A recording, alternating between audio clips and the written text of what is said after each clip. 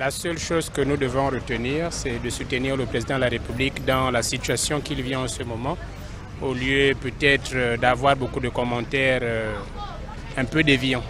Voilà, donc je préfère m'abstenir par rapport à la situation. Mais tout ce que nous souhaitons, c'est le retour du président de la République à Bonnet. L'absence du président, elle est naturelle. Tout le monde s'absente euh, d'une question ou d'une autre. Ça fait deux semaines déjà.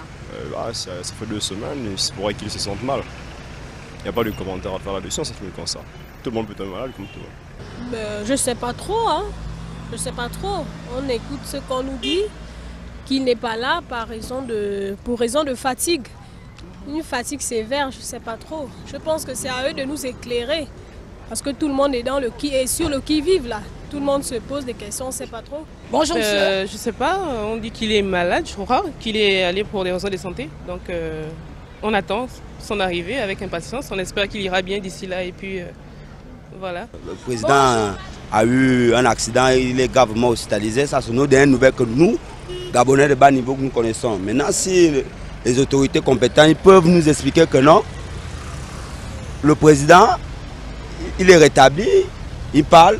Là, on serait, on serait content parce que c'est inadmissible. On ne peut pas accepter ça.